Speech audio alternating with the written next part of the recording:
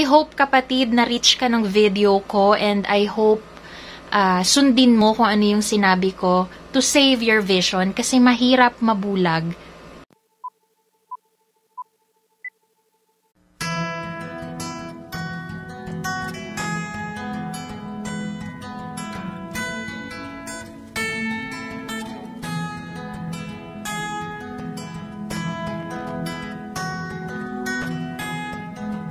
mahirap maging disabled katulad ko.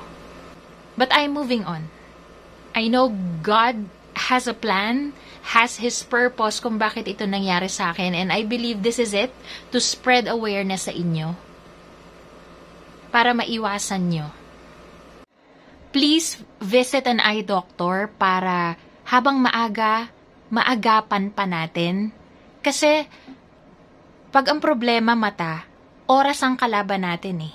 Pag nagpa-check up kayo at nakitaan ng mga punit yung retina or maninipis na part, pwede pa siyang i-laser. That way, mapipigilan yung pagka-detach, yung pagkapunit ng retina which can lead to blindness. I hope you can share this video to other people, lalo na yung mga kakilala nyong malabo ang mata, lalo na yung mga kakilala natin na ang babata pa lang, makapal na yung glasses, malabo na yung mata. Let's help everyone. So this is Ate Mong PWD.